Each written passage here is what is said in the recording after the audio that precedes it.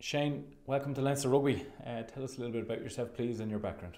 Yeah, thanks, Marcus. So, uh, yeah, I'm Shane. I'm a, well, first and foremost, I'm a Leinster man. So, I'm from Navan, County Meath. Went to school there, and also in Dublin, where I was introduced to the, the game of rugby. And I've been a, a lifelong fan, player, uh, supporter ever since. So, um, went to college in Galway. Uh, continued playing rugby there. Then started my working career in London for 11 years uh, before coming back to Ireland. And I've spent the last 11 years working for Google, doing various roles across Europe, Middle East, and Africa, which was super fun. And now here I am in my dream job, uh, CEO of Leinster Rugby. Unfortunately, you never pulled on a Leinster jersey, but you did put on a Connacht jersey once upon a time. Oh, you heard about that? Yeah, we definitely did. Yeah, Okay. Connacht 20s, I believe. Your, very, your research is very good. Yeah, I played a couple of games for uh, Connacht under 20s. I was playing for UCG, or NUIG as it's called now, so I captained that team. We played All Ireland League for a couple of years and uh, managed to get some games for the Connacht under 20s. But um, unfortunately, that's as far as my representative honours went. A move from, you mentioned Google there and you mentioned time in London, but a move from the corporate world, as it were, to Leinster Rugby. Why Leinster Rugby? Why this role? Why now? Oh, look, it's a dream job for me, right? I think uh, there are not many CEO roles for professional sports organisations. As soon as I heard that this was become uh, open, um, I knew I had to go for it. So for me, it's the perfect opportunity to marry my commercial experience and my corporate experience with my passion, which is rugby. So absolutely dream job territory for me. Technically, uh, last weekend against Chile in Energia Park was the first home game, but uh, the BKT URC returns to the RDS this weekend. Um, and you're n- nearly a month into the role now, Shane. So I suppose uh, overall, what have you noticed? What have you taken in from the club, from the organisation, and, and what have you seen? Yeah, look, it's been it's been a great couple of weeks uh, to start off. Like any new job, you're, you're kind of learning every day something new. So I've been nothing but impressed with everything I've seen. So from the um, the connection with the local community, like we saw the, the team going doing the summer tour across uh, Leinster at the start of the summer, and last couple of weeks ago down in Tullow as well. So it's been really impressive to see that connection. Then I've got to you know we have a great leadership team in here. I've got to know these guys at a, at a personal level and just get to understand each of the teams and meet all the teams. Um, there's amazing work being done on the domestic side of the game in terms of just putting a rugby ball in the hands of more and more boys and girls through our youths and our minis programs. Uh, the support for all of our clubs and our schools has been really impressive. So that's been impressive. Then right through to you know looking at Tania and uh, and Leo and the senior teams and the level of kind of professionalism and um, processes that go into putting great teams on the pitch. So it's been nothing but impressive, and uh, I know I've loads more to kind of learn. Looking forward to continuing to getting stuck into the meeting every part of the, the Leinster rugby operation. Might be unfair to put you on the spot with this, but what are you hoping to achieve, Shane? Like I don't know whether that's short term, medium, long term, but what would you like to achieve? Look, at first we have to say, like, it's an amazingly successful organisation, Leinster Rugby. It's a really, really impressive organisation. So very much, uh, first and foremost, I don't want to break it.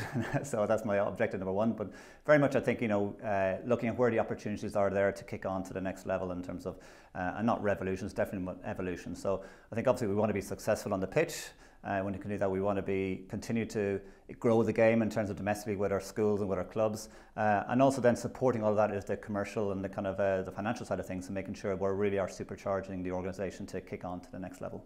From a commercial point of view, um, Mick Dawson's been on record as, as saying that, you know, during COVID, revenue was decimated down fifty percent or thereabouts.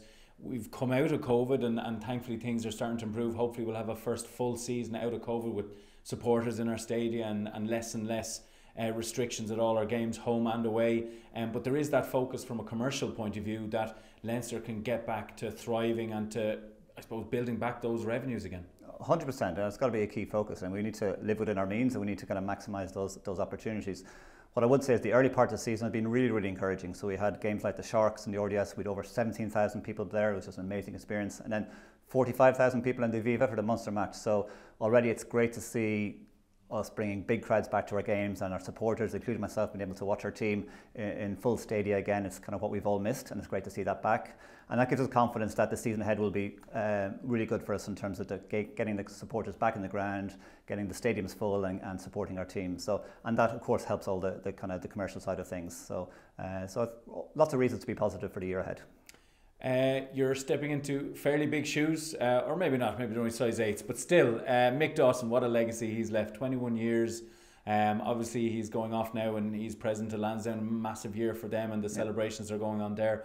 But a huge legacy that Mick has left, and I know um, from speaking to you that he's been helping you out and, and there at the other end of a phone or there for meetings and whatever else, and helping you into transition into, I suppose, your your uh, your role as you take over as CEO of Leinster.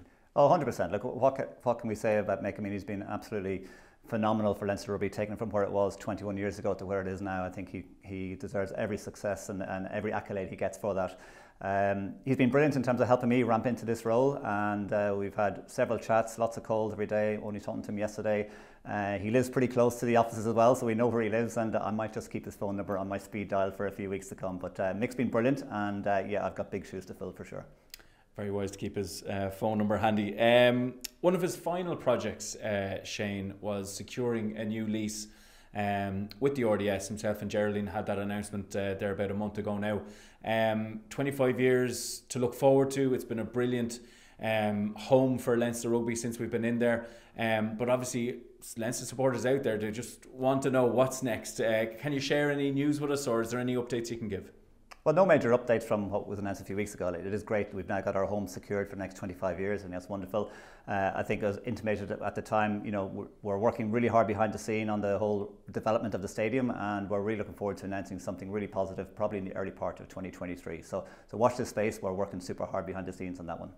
Uh, he also left you with a couple of vacancies to fill, and I suppose on everyone's lips, uh, Stuart Lancaster has obviously announced his departure, going to Racing, um, and other coaches within the senior coaching setup also uh, with contracts up at the end of the season, and more so than Leo Cullen. So I'd imagine as one of the key projects for you is to, is to kind of get clarity around that coaching appointment. Sure, 100%. Like, it's a key priority of mine. And look, Stuart has been a great servant for Leinster Rugby for the last six years. It'll be seven years by the time he, he heads off.